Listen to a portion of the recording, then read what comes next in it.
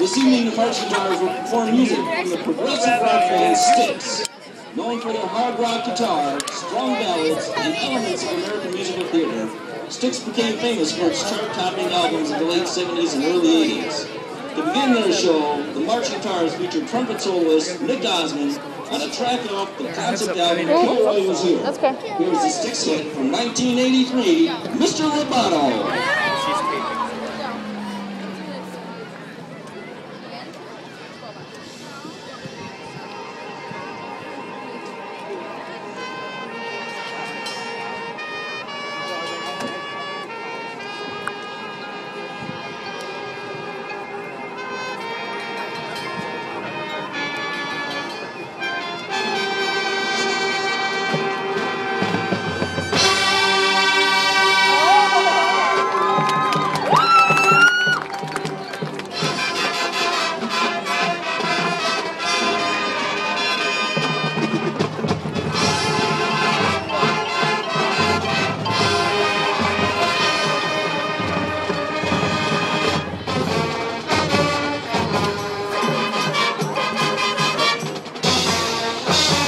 Yeah.